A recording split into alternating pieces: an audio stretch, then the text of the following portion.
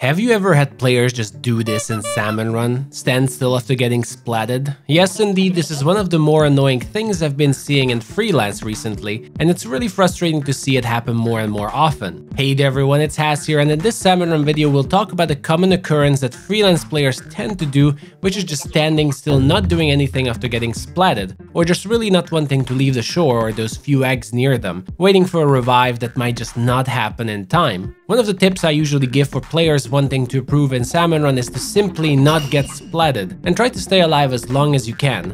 Since a single splat can waste a lot of time if you think about it, a couple of seconds already just a splat animation and then who knows how long it will take to actually get a revive. But of course, we all get splatted from time to time, even the best of us, so don't feel so bad when that happens, but it's absolutely vital to make sure you're still helping your team when you're down, or not give up and waste precious time. One of the most common mistakes I see players do is what I showed earlier, just standing still as a life belt, not doing anything, not moving, not pressing that help button to let the team know where you are, and just wasting a lot of valuable seconds that otherwise could be avoided.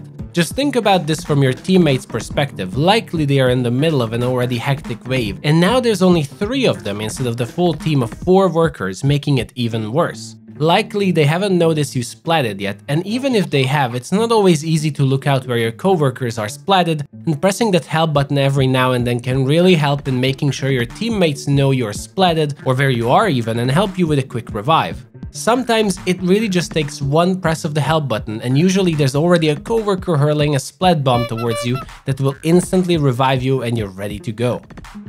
Second common mistake that I usually see is a very similar situation when someone is splatted, as they do spam the help button and you know where they are, but they stubbornly stay where they are, usually near 4 or 5 golden eggs on the shore, behind multiple salmonid bosses and a whole horde where you aren't able to revive them.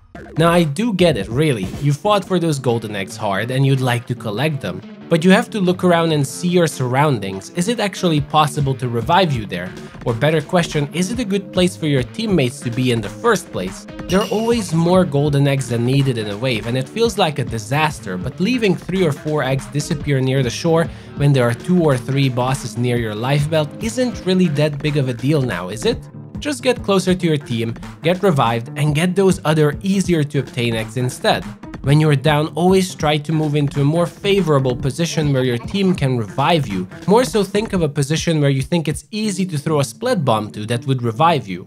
The best place usually to move towards is always the basket on every stage, as likely your teammates will eventually cross the basket and see that you need a revive. So moving towards this one checkpoint always pays off, instead of staying near the shore where no one might get near you.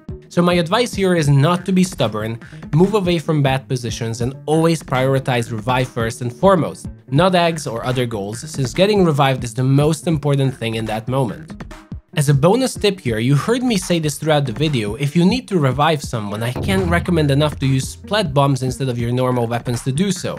Splat bombs are something everyone has, and fortunately they have excellent range that you can hurl them for really easy revives without actually getting closer to danger at all. This is why it's also important to think of places where it's easy to throw a bomb, so that more of your teammates can start using splat bombs instead of potentially jumping into the thickest of situations no one wants to be in in the first place.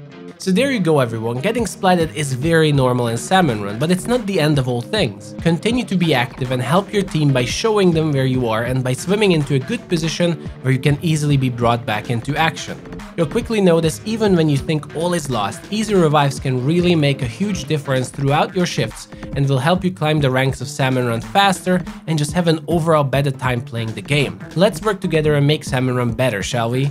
Thank you very much for watching everyone. Remember the channel is full of guides and more tips to help you improve, so if you're interested make sure to subscribe and check out more videos here. We also have a community discord you can join through the link in the description where you can find a bunch of other amazing co-workers to play Salmon Run with, so feel free to join us. For now, take care everyone, and I'll see you the next time.